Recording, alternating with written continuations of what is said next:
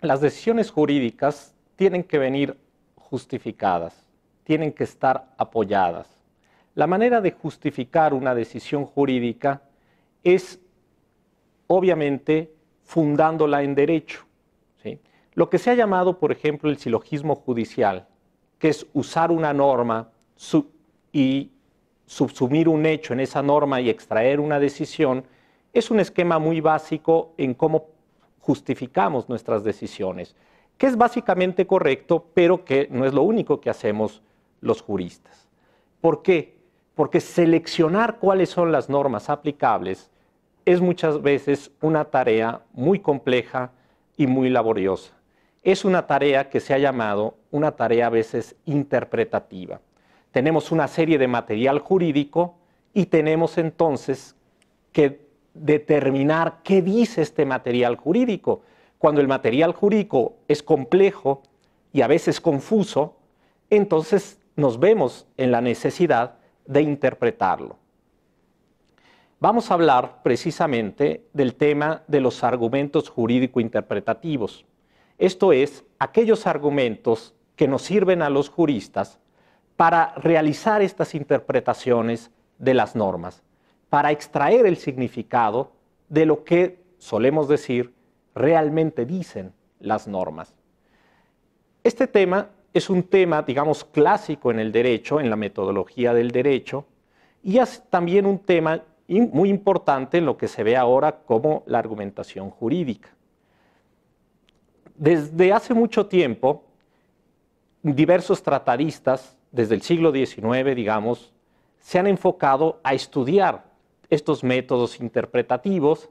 Incluso algunas de las escuelas que surgieron en el siglo XIX eran escuelas que privilegiaban alguno de estos métodos. Si pensamos, por ejemplo, la escuela de la exégesis privilegiaba los métodos eh, eh, gramaticales, los métodos que apelaban a la voluntad del legislador. Si pensamos en la escuela histórica, obviamente privilegiaba los argumentos históricos y los argumentos sistemáticos. Si pensamos en la, jurisprudencia de intereses, privilegiaban los argumentos teleológicos. ¿sí? Entonces, claramente este tema de cómo interpretar el derecho y a través de qué mecanismos o qué métodos interpretarlos, a través de qué argumentos interpretarlos, ha dividido a los juristas desde hace tiempo. El tema, sin embargo, creo que ha tenido avances importantes en las últimas décadas. Si bien todos los juristas hemos y solemos hacer uso de estos argumentos interpretativos, lo cierto es que hemos visto que el uso que se hace por parte de los juristas ¿sí?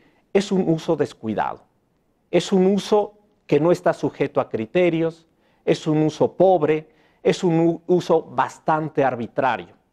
Si esto es así, lo que significa y la repercusión práctica que tiene es que los jueces, que son finalmente los intérpretes últimos del derecho, son en sus decisiones interpretativas son bastante arbitrarios. Esto es, si no tenemos métodos que funcionen de manera correcta, ¿sí? entonces estos métodos de interpretación o estos argumentos interpretativos se convierten en una manera de salir con una interpretación este, ad hoc en cada caso sin saber exactamente si hay una justificación para ello. De modo que el estudio de estos métodos es importantísimo en la argumentación jurídica si entendemos los argumentos jurídico-interpretativos justamente como argumentos, habría entonces que revisar cuál es su estructura y cuáles son sus condiciones de aplicación y cuáles son los criterios de corrección que debemos tener para usarlos de una manera controlada, de una manera racional. Hace algunos años, algunos estudiosos importantes filósofos del derecho, importantes teóricos de la argumentación, entre los que estaban este, Robert Alexi, Neil McCormick, Alexander Pechenik, eh, Aulius Arnio, Robert Somers, entre muchos otros, realizaron un estudio comparativo publicado en 1991, este, donde analizaran la interpretación que se hace en distintas cortes en distintos países del mundo. Países importantes como Alemania, Estados Unidos, Italia, Francia, Polonia, Inglaterra, etc. Y extrajeron algunas conclusiones interesantes. En la mayoría de estos países, los argumentos que se usan son más o menos los mismos, ¿sí? hay un uso más o menos extendido de estos, aunque algunas condiciones varían. Ahora, lo que, era, lo que variaba bastante era la importancia que se le daba en distintos países a ciertos argumentos. ¿sí? Es decir, en algunos países los argumentos gramaticales tenían una gran importancia, mientras que en otros habían, por ejemplo, los argumentos teleológicos eran los que tenían esa importancia fundamental. Esto ha llevado entonces a hacer una revisión de cómo funcionan estos argumentos y bajo qué criterios tienen que funcionar estos argumentos. Esto, como dije, es muy importante porque en la medida en que tengamos depurada una metodología para usar estos argumentos, vamos entonces a poder controlar racionalmente las interpretaciones que se hacen en todos los tribunales, en México y en cualquier otro lado.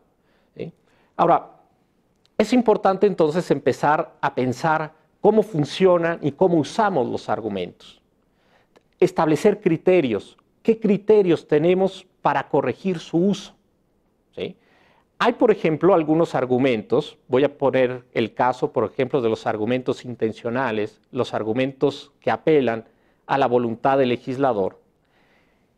Este tipo de argumentos, por ejemplo, ha sido muy criticado porque se sostiene que no tiene ninguna, ninguna base sólida y por lo tanto no justifican las interpretaciones que se hacen.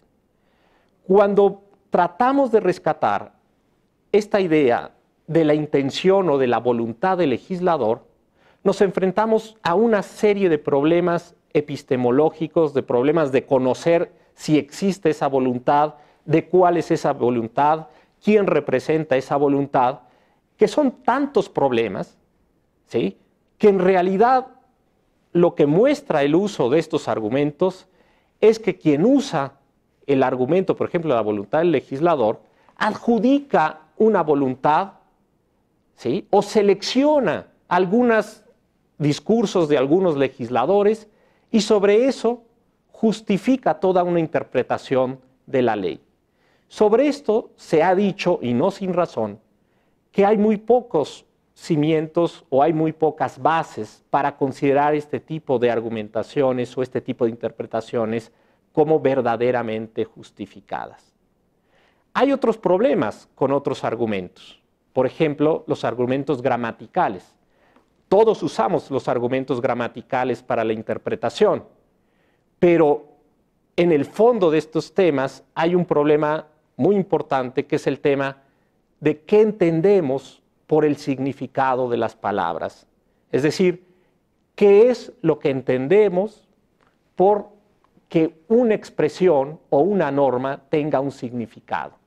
Y aquí nos enfrentamos a problemas filosóficos importantes, es precisamente todos los temas que tienen que ver con filosofía del lenguaje, con los temas de semántica, ¿sí? ¿Por qué? Porque vamos a encontrar que en las discusiones eh, filosófico-lingüísticas hay distintas corrientes que nos dicen qué es y a qué le tenemos que dar o qué significa esto de que una expresión tenga un significado. Tenemos entonces como ciertas corrientes tradicionalistas que te dicen, bueno, cuando uno sabe el uso de un idioma y ciertas reglas para usar este idioma y sabemos construir frases significativas, el significado va a depender de estas reglas del uso del lenguaje.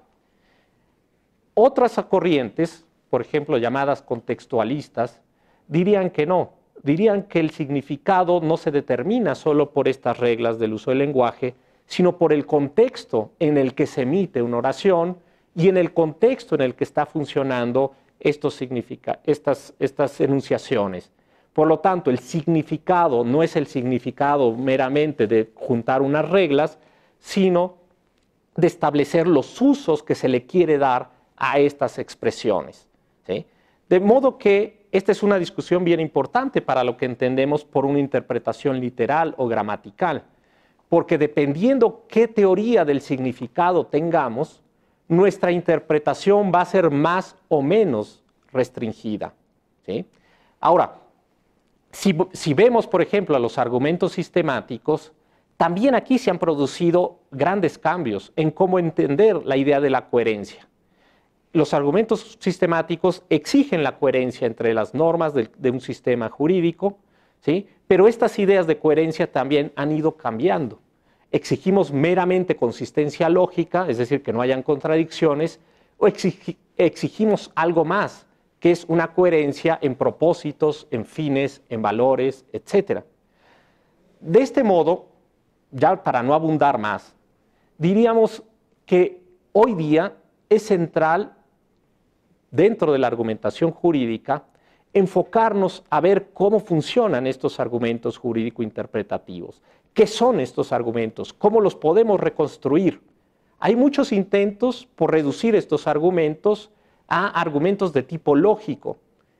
Yo creo que esta no es la vía adecuada. Yo creo que estos argumentos son argumentos inductivos muy complejos, donde a veces podemos introducir algunas cuestiones lógicas, pero que en realidad son argumentos que hay que evaluar de manera inductiva. Hay que evaluar su potencial, su capacidad de justificar algo y su potencial epistemológico también. Es decir, sobre qué tipo de conocimiento y la calidad del conocimiento en el que estamos basando estos argumentos. Bueno, por ahora dejo aquí el tema, aunque es un tema que obviamente merece mayor reflexión y mayor profundidad. Muchas gracias.